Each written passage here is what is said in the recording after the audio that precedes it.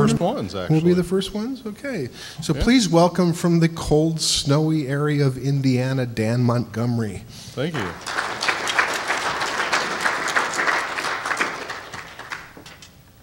This is our new logo for over the last year.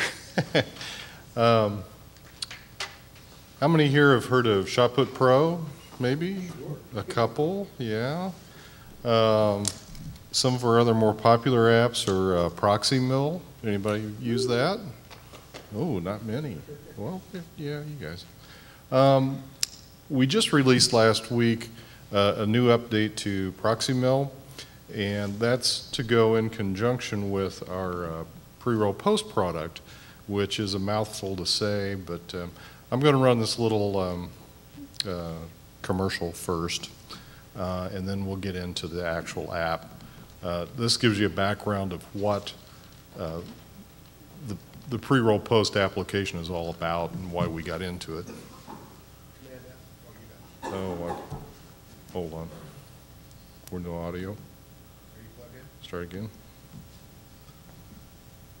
Pre-roll post is a brand new Macintosh application from Imagine Products that backs up your media to a local disk and long-term LTO5 tape while creating a visual index complete with thumbnails, proxies, and metadata. Do you have all of your client's media backed up and archived? Hard drives are great for delivering files to your client, but shouldn't be trusted as a long-term archiving solution. Pre-roll post makes using tape drives easy. It takes advantage of the linear tape file system, so tapes mount just like a hard drive, and no proprietary software or formatting is needed. Use pre-roll post to back up any files on your Mac.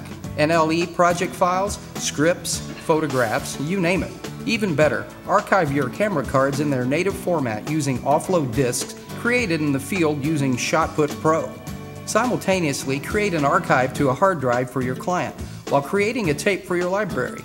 All file copy functions are verified using MD5 checksum algorithms, so you can rest assured that the data is there and intact. Pre-roll post makes it simple to find and restore projects or a single clip from the tape. The visual index with proxy video clips can be browsed and played back easily, even from the tape. Combined with searchable metadata, it makes quick work of finding what you need so you can get back to editing. Pre-roll post works with off-the-shelf, non-proprietary equipment and any LTFS compliant tape drive. Archive on the go using a Mac with Thunderbolt and any SAS to Thunderbolt adapter. The pre-roll post archiving software can be purchased now at imagineproducts.com. Yay. Hooray. Um, So let's get into it. Uh, I wanted to answer the, the gentleman's question from before. And one reason we got into this whole application, and, and don't let the interface deceive you. It is very simple by design on purpose. Um, we wanted to make this very easy to use and, you know, easy to get results. Um, but it's like a duck on a pond. It's pedaling furiously underneath the water. Um, uh, we took a stab at this because um, a year ago we were approached by a number of dealers that were, were telling us, um, gosh, one, you, you guys make this wonderful product called ShotPut. It can copy things onto tape, you know, onto hard disk. Why not just use that with an LTO tape? There's a new LTFS thing, blah, blah, blah, blah, blah. Well, the, the technical uh, aspects of that, we got lured into it and we said, yeah, sure, we'll, we'll take a look. Well, you know, tape's a linear format. It's not a spinning media. It's not a, a, a solid state drive. So you have to do some things to really optimize that workflow to make it really work for you. Yes, LTFS means that it's the linear file tape system. You can mount a tape and see it like a folder on your in Finder and see the contents of what's on that tape. However, getting files onto that tape, just drag it in, right? And it'll write it to the tape. Well, everybody knows video has very big files, and then there's what we call lint. There's about a thousand tiny little files, right? And if you drag one big folder of all that stuff onto a tape, it's going to write it on there, but then it's going to go, go back and forth and back and forth to write an index for every tiny little file back in the index area. And what makes LTO 5 and higher different than the previous tape systems is it's a partition. So there's a, uh, there's, the tracks are divided, there's 80 tracks, and two of those are reserved for the index. And so it's writing the indices into the tracks, into the, the index area, and then the, the rest of it's reserved for large files for your content. So when you put a big four gig file over there, then it only has to write a little tiny pointer to it in the index area. Um, so all that said, to make this work well, you have to do things like pre-sort the, the files in a certain, you know, by size and by usefulness and decide where they're going to go and how you're going to put it onto the, the tape. You write rules on how to write to the tape. So it's a little more complicated than, yeah, I can plug this in and I can just drop files on it and that'll work to a certain extent if you want to be very crude. But really to, to be able to retrieve files later on and, and search them and put them on there in a logical sequence and to optimize your time so the thing's not shuttling back and forth all the time, you have to have an application that does some logic. What this app does is makes it very easy. We said from the very start, you know, when we looked at LTFS, there's several components. There's the, the LTFS itself, there's an ICU framework you have to install, there's the various flavors of LTFS for the different manufacturers of hard disk or, or tape drives, I'm sorry. And um, there's a thing called uh, OSX Fuse, which mounts the user profile or this user experience so that LTFS shows up in Finder like a folder. That's all a lot of minutia for for someone to try to figure out how to install. So this application comes with an installer with all the links in it. It's a one click, it does it all. It puts it all on for you, everything. You can choose the manufacturer, what type of, of tape deck you have, and it'll install that flavor of LTFS. When I said we just released last week, we released version 2.0 that now supports LTFS, or I'm sorry, LTO 6, the newest one um, and LTO5. So you can choose between those two types. What's the difference? Why wouldn't I want just LTO6? It's the newest and best, right? Well, it's also the most expensive. Um, LTO6 will hold two and a half terabytes per tape. The tapes run about $100 a piece. LTO5 will hold one and a half terabytes. They run about $40 a piece. So for that one extra terabyte, you're paying quite a bit per tape. It is a, a little bit faster, mostly in the retrieve portion of the, you know, the tape deck speed. Overall, LTO tape decks run about, or they're rated at about 140 megabytes per second, sustained read-write, you know, throughput. You can have bursts of writing, for example, double that. So you're in the range, you know, the connections, the mini SAS connections can, can handle up to about 400, 375, 400, something like that, megabytes per second. Um, so they can easily handle that kind of throughput, but uh, uh, the real advantage of LTO6 over LTO5, personally I don't see it. It's really just the capacity more than anything else you can get into this whole setup. Our software is $500. It's 499 for the software. Um, the ancillary applications such as ProxyMill, if you want to write proxies, is $300. Um, the viewer is uh, 100 bucks, so you're talking, what, 800 $900 in that range. The decks, the LTO decks run starting about $2,000 and up. So an LTO 5 deck you can get for a standalone desktop unit, a couple grand. Uh, so you can get in this whole thing for under 3000 You can spend more than that on a single LTO 6 drive. You know, they start 3,500, I think. Um, We have tested, and we are partners with uh, Quantum and HP. Uh, So we have tested both of those. In fact, at NAB, we'll be in A- HP's booth uh, to show off this new system. Um, And we're also an ATTO partner. I mentioned ATTO. They're uh, the card manufacturer. They make interfaces for, you know, PCIe card to put in a tower, or, or they make a box that has Thunderbolt into it and mini SAS out. The LTO6, everybody was hoping the tape decks would come with Thunderbolt built in. HP said, no, we're not going to do it. The volume's not there. Microsoft hasn't caught up yet. So whenever you see Windows machines coming with those, with Thunderbolt, then you'll see it, is my opinion. Um, In the meantime, there are a number of interface boxes to get there. Uh, Sonnet makes one. Uh, The Atto guys make one. There are a number of PCIe Thunderbolt boxes, like uh, mLogic makes one for, uh, I think they're $300 in that range, three or $400. Um, uh, Sonnet makes one. LaCie, they're into one now. Uh, So th- there's a number of those way- ways to get to that, is, is my point. Um, So let's go into this before we run out of time. So very simply, this interface, you can choose to write it to hard disk. If I had a tape deck connected here, you would see that connection information and the log when I tell it to connect. Um, As we said before, you can do various types of file checks. MD5 is the most popular when you're writing it.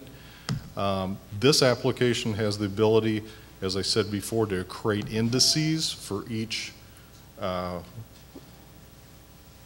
set of files that you put on the tape. So we're assuming, or we're targeting the video market. Yeah, you can put any kind of files on here, it doesn't matter. But if you are video specific, like most everyone in this room, then if you let this app determine the type of video for you, it's aware of all the kind of app or, or video formats that we're aware of, such as Canon and GoPro and uh, Arri Alexa and P2 and on and on and on, you know, XD-Cam, all those kind of files, and it can figure out what type it is, create a five-second preview, five seconds, not a proxy of the whole thing. And the reason for that is we, you know, when you're searching, you want to know, is that the one I want? This isn't for a workflow of, I've got to edit with the proxy, it's, I'm searching, I want to find the thumbnail, I want to see the proxy, yep, that's the one, drag it, retrieve it, get it back. Um, This is actually doing a, a database, uh, a SQLite database on the computer, so of every entry that you write. So if I'm writing it to tape or writing it to disk or both, I can do both at the same time, uh, it's going to make an entry into that database locally, and then I can search that without having the tape in the deck.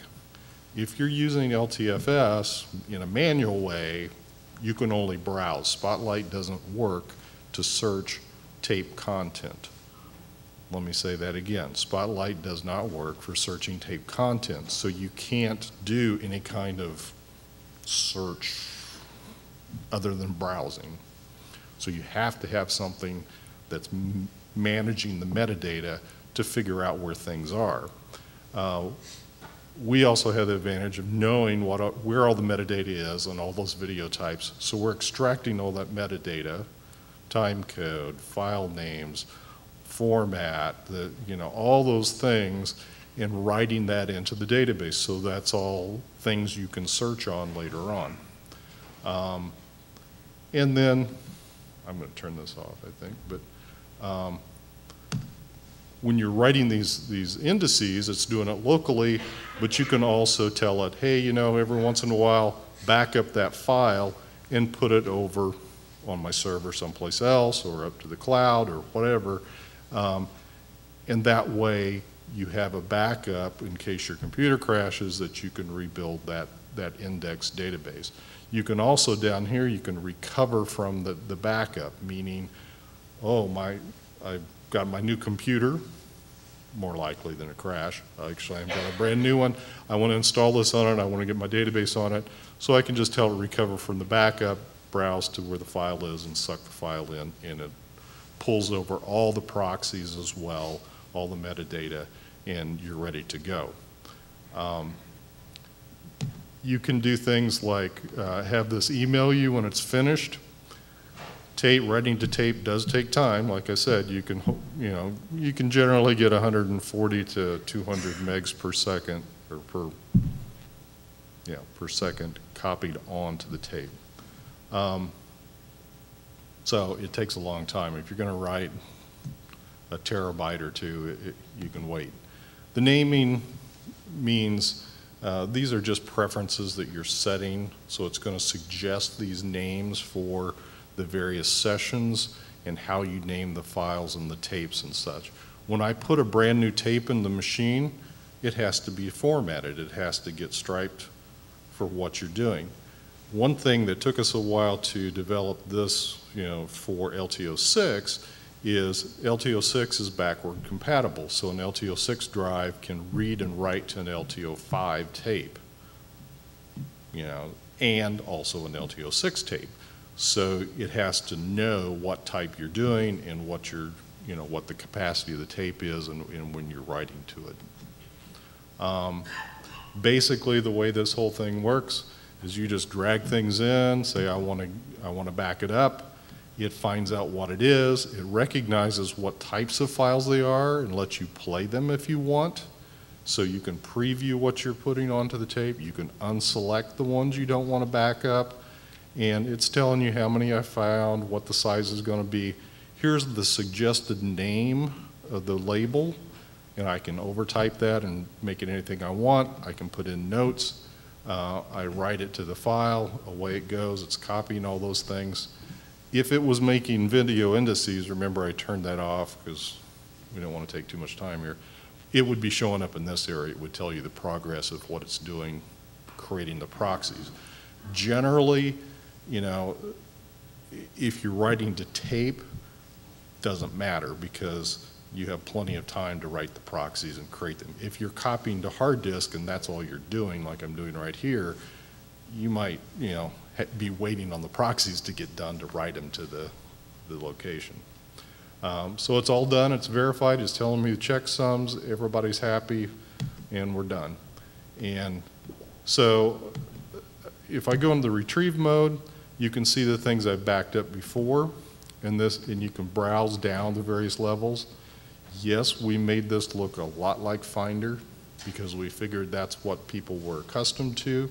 I can do a simple search and just do a few, you know, characters, and it's going to automatically tell me which ones are there. Um, and I can say, oh, that's the one I wanted, and drag it into the retrieve area. It says retrieve. So as I get them all stacked up, when I'm ready to retrieve, I just say click, and then it'll tell me which tape to put in the deck to go pull them back. Um, note down here, there's a notes area. Remember, I could type in the notes. So all of these things, I can put a little bit of my own information in at this step or in this dialog. This also has an advanced query, and so you can get very specific about where to look for things and what the notes, if I'm searching in that level, what, you know, which things to do and how big they were and dates and all those sorts of things. So you can narrow your search tremendously, you know, and, and so forth.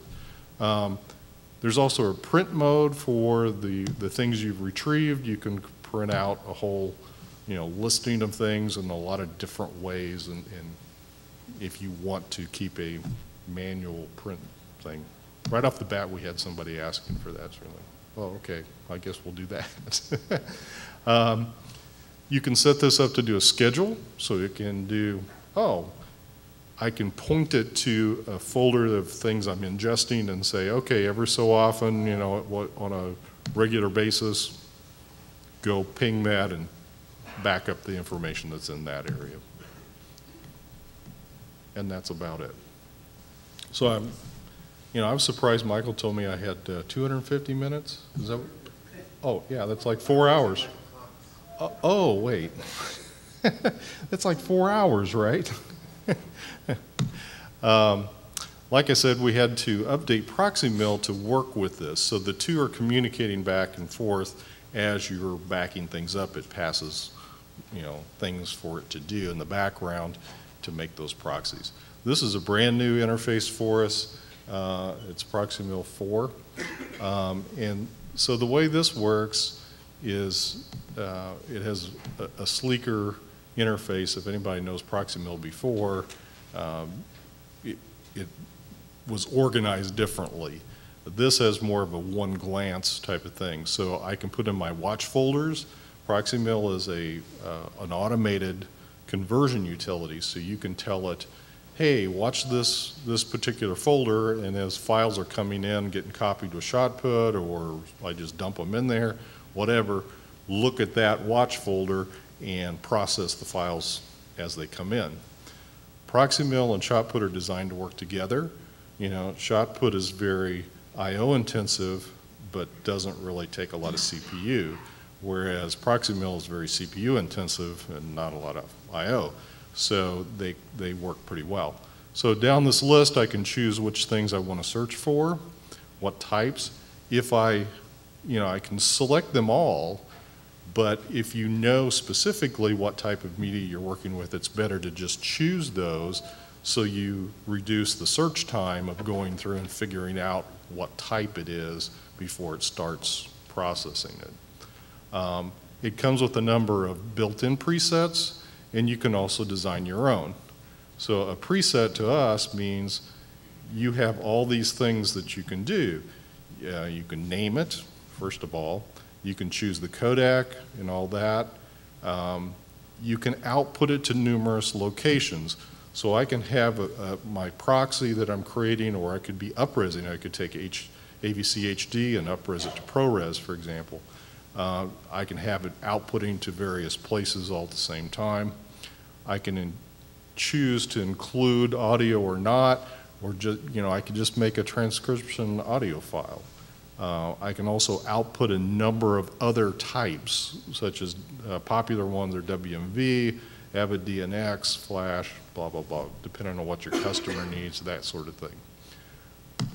A lot of times, people want to do burned-in timecode. So if I pop open my preview here, you'll see I've chosen this, you know, here's my timecode, here's where it's at. I can turn on and off a color box around it, so I can have it, you know, translucent or not.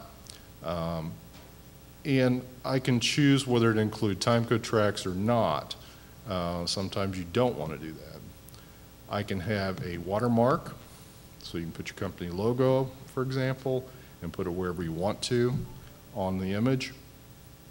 Uh, You can have text, so you could type in your own text and have that come in, or you can have it, you know, put in the name of the file.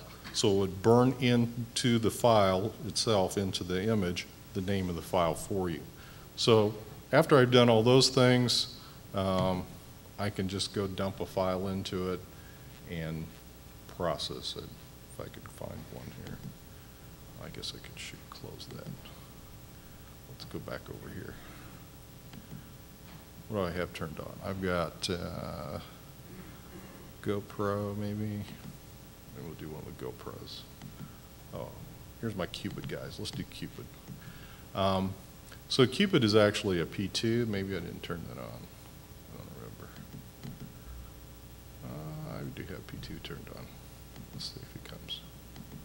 There he comes. So you, you see a little preview of the thumb, thumbnail previews. I can pop those and, and see the metadata for them, what types they are and the time codes and so, so forth. This is processing. It means in the preferences, I've set it so that as soon as I dump stuff in here, it takes off and, and does it. I can disable that and have it wait, and then I can choose which ones to do and, and when they're done. Notice these guys are already complete. Um, and I think I've got these going over here to ProxyMill out. and I had them named by, remember it was Cupid? And these guys are coming over here, and there's my guys Right. And with our watermark and all that. Um, A couple new features in this application. Uh, We have a a tiny little app called Clip Stitch. You guys are editors, so this doesn't sound like that big of a miracle, but what you can do is drag a number of files into this and say, here, put this one and put that one together and stitch them together in sequence and output a file of those combined. Why is that important? Well, a lot of digital disc recorders will chunk your files like at two gig level or four gig level, and they're really all supposed to be one, and you're chunked up. So you can just dump them all in here and let it do it for you. Um, you can also, in, in ProxyMill, there's a option in the settings to merge or spanned clips and, and stitch together entire things. This is just a manual type thing. We also added a new function called LUTs, and, or LUT sync. And people that know what that means, there's lookup tables for the color, so you can choose the file I want to apply it to. I can choose the type of codec, color correction, ProRes, blah, blah, blah. Um, where I'm, where that file is that I'm going to use to process it. And you can see the little preview of how these, the corrected versus the original is going to look. So this is a one-dimensional, a very uh, uh, manual type of thing right now, where you apply this, you know, if you're dealing with the high pixel type media, apply the LUTs to it. Because a lot of times your customers don't want to see the flat files, they want to see it already, you know, with some color to it so they understand what, what it's going to look like in the end. Um, today or tomorrow, they finish the 3D LUTs, so that'll be included by NAB timeframe. Uh, This whole application will be sold as a standalone application, as a way to apply LUTs directly. Uh, You can also, uh, at some point, we'll integrate that so it'll be part of your preset, so you can tell it, hey, after you're all done, apply the LUT to, to it, to the my proxy to output it that way. Um, What, you want my preview now? How long do I have? We have, uh, actually. I have four hours? Well, you actually are, uh, time's up. Oh, no. Okay, we got to show them this, Michael. Right. This is the Quickly. new shot put. Okay. This is what you'll see at NAB. Shotput Pro 5. And what's different about it, you know, first of all, there's a detailed logger that shows you all the stuff that you've done, uh, offloading, blah, blah, blah, and you can easily type in notes for those, and you can export the logs and all the different flavors. Um, It is much, much faster. It's 40 to 50% faster than the old shot put. And part of the reason of that, especially on Mountain Lion, part of the reason for that is we were using uh, Apple-provided routines in the past, and those tend to be very OS-specific. And so the current shot put was really based on Lion, not Mountain Lion. And uh, anyway, it's a long story, but basically, um, this guy is using uh, our own routines, and it's not, not going to have that problem. Um, We've reorganized these things by presets. Sorry? Basic function, what does it do? Oh, I'm sorry. I should have said that. Uh, ShotPut Pro is a copy utility. So the idea is I have a uh, attached media, like my media cards or digital disc recorder, and then I want to copy them to a number of places. So in each of these, I can tell it, how do I name those, where do, and where do I output those? So I can make one to many, so I can make three or four copies all at one time, name them automatically by card name, today's date, you know, prefix, suffix, all those sorts of things, rather than use Finder. Uh, It also does uh, verification, so it checks each file to make sure they're exactly the same and gives you all sorts of outputs to that effect, so you'll know where my preference go. We gotta wrap it up. there. Gotta wrap it up. Yeah. You can, It has a lot more different Yeah. checksum types, um, European dates, logs, emails you when you're done, blah, blah, blah, blah, blah.